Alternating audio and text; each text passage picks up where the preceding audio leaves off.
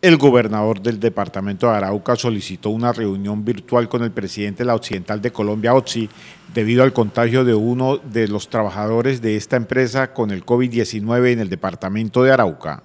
Sí, a medida o a raíz de la situación que se presentó eh, ayer en el municipio de Arauca, donde una persona que venía desde el departamento de Santander, Villanueva exactamente, Santander, se le pudo diagnosticar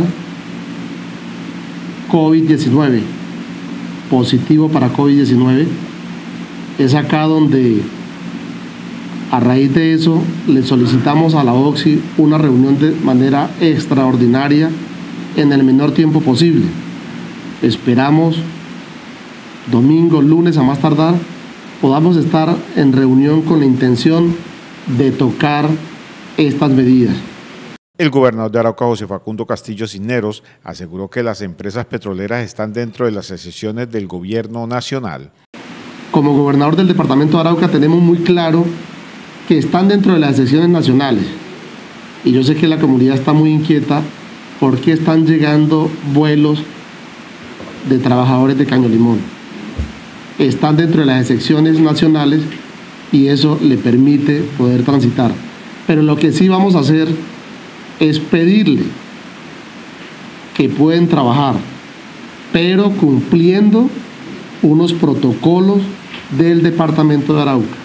El primer mandatario dio a conocer que una de las exigencias a la OTSI es que las pruebas del COVID-19 de sus trabajadores se deben tomar en sus ciudades de origen.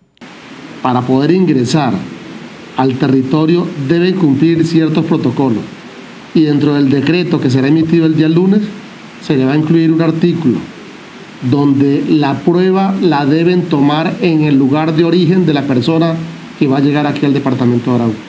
No la tienen por qué tomar acá. Y si la persona sale positiva, que haga todo el procedimiento en el lugar de origen, pero hemos hecho un gran esfuerzo de tomar medidas para que esta enfermedad no nos llegue al departamento de Arauca y no podemos permitir que hayan ruedas sueltas en el departamento la persona se encuentra asintomático, o sea que no presentó síntomas del COVID-19 cuando viajaba. El paciente eh, es un paciente, como ustedes lo han conocido, de 47 años de edad, donde se encuentra completamente asintomático. Es decir, no presenta ninguna sintomatología. En Villanueva, Santander, se encontraba completamente sano no tenía conocimiento de que estaba enfermo.